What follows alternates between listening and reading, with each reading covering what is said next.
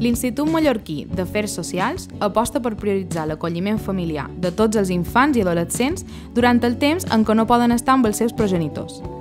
Més de 879 menors de Mallorca tenen una mesura de protecció gràcies al programa de famílies acollidores.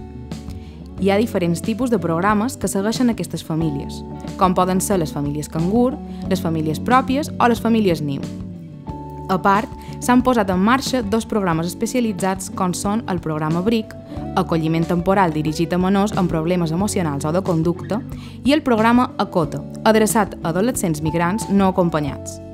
Totes aquestes accions són de gran rellevància i s'enfoquen en cuidar a les persones en el moment més delicat de la seva vida, el qual definirà qui són i com seran.